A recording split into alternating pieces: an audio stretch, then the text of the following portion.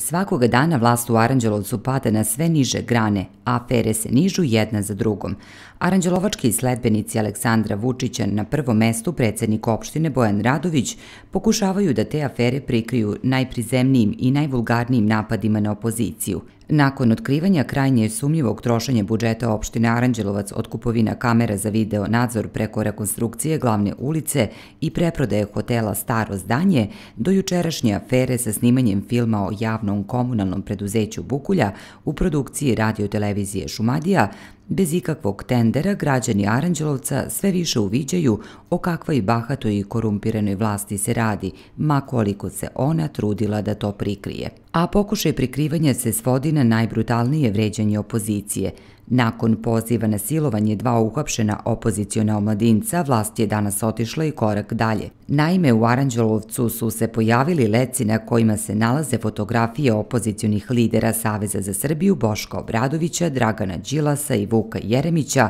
a pored njihovih fotografija se nalazi fotografija opešenog čoveka iz drugog svetskog rata i natpis Stop fašizmu. Zbog tog letka, ali i zbog poziva na silovanje, podnete su dve krivične prijeve, a mi se nadamo da će policija i tužilaštvo biti efikasni i otkriti ko stoji iza tih natpisa, ali i za nedavno polomljenih prozora na Domu omladine.